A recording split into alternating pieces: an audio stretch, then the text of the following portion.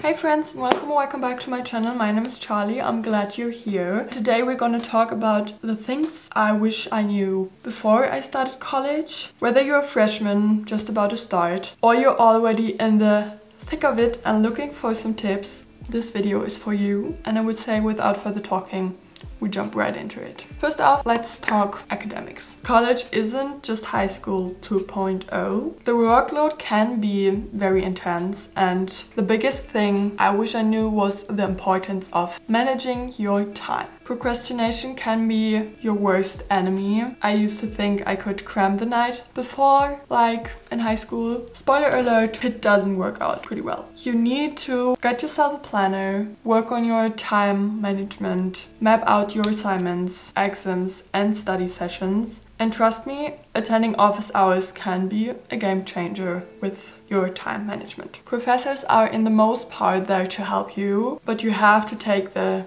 initiative. They can't look in your head and see what you're struggling with. You have to go to them and tell them what you're struggling with so that they can help you. The second point I wish I knew before starting college is the social side of college. Everyone says it's the best time of your life, but no one tells you how overwhelming it really can be. FOMO is real when you're in college. I know the best. I live two hours away from college so I'm also living two hours away from my college friends. And most of the time I'm staying at home so FOMO hit me a lot of times. But you're basically going to be bombarded with invites to events parties hangouts. But it's crucial to find your balance and also to find the things you really need to go to want to go to so that you have enough time for yourself and your college left so what I wanted to say is it's okay to say no sometimes. You need to prioritize your mental health and don't feel pressured to do everything. Your friends will still be there even if you miss a night out. They don't start to hate you. For the most part, they will understand you and if they don't and they make a huge thing out of it, I think they are not the right friends for you. Also, don't be afraid to step out of your comfort zone, even though I said say no a lot of times. If you are a person that is very introverted, it can help to join clubs, go to that random event on campus, strike up a conversation with someone new. College is a great place to meet great people that mostly will be there for a lot of time in your life. So put yourself out there, but find enough balance to still have enough time for your well-being and take yourself as a priority. Financial awareness is also a huge part of college. Budgeting is key. College can be super expensive and it's easy to blow through your money if you're not careful and if you don't plan with your money. There are a lot of student discounts on websites, things you can go to, so use them. And I have a budgeting plan on Notion where I put everything that goes off um, my bank account every month so that I know how much money I have to spend in a month, kind of. Go for coffee runs, go out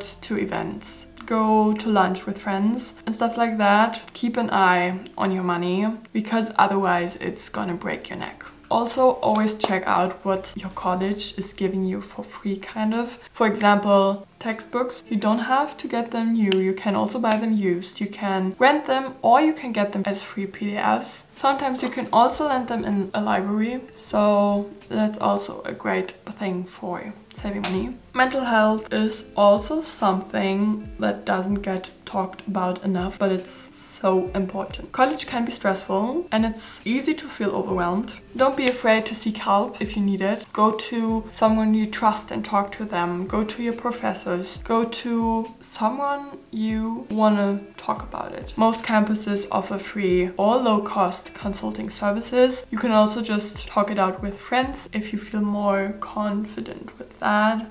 And remember, it's okay to take breaks. Your mental well-being is just as important as grades, if not even more important. You need to take care of you and you don't need to burn out for college. It's also just college. And it's okay to have not only A's in college, nobody's perfect. Don't try to figure out everything at once. And if you need help, go and get it. And even if it's just talking to a friend, please, please talk to a friend because the mental health part, especially in college, is so, so important. Lastly, I told you a lot about what I wish I knew before college. And basically I can make a second video out of that because I have still some more touching points, but I don't want to stress you out. But what I want to say for the last part. Make the most out of your college experience. It's not just about getting a degree, internships, Study abroad programs and networking can all set you up for success after graduation, but you also want to live your life, get involved in things that interest you, and start building connections with professors and peers and other people around you. These relationships can open doors to opportunities you might not even know you have, and you also can make a lot of friends out of college. Get a lot of huge memories. College is not just about academic stress, it's also about getting new connections and seeing where you want to go in your life and if you like the path you're going towards. So there you have it. The things I wish I knew before starting college. It's an incredible journey, it's full of highs and lows, but with the right mindset and a little preparation, you can make the most out of college and you don't need to feel stressed because as I said it's just college. If you feel stressed about college or want to have study tips, things like that, I made some videos about it already. I linked them in the eye for you. If there's anything you still want to know, you can comment all questions down below and try to answer them. If you're not comfortable with commenting them down below, you can always write me on my Instagram. I try to answer as fast as possible so that you can get the big questions out of your head. And with that, the video comes to an end. Thank you so, so much for watching. If you found this video helpful, you can give it a thumbs up. You can also subscribe and turn on the bell so you never miss a new video. And if you have any more questions, as I said already, write them in the comments down below or you can always reach out to me and ask me more questions if you want them answered. I see you in the next video. Make someone's day this week and we see us. Bye!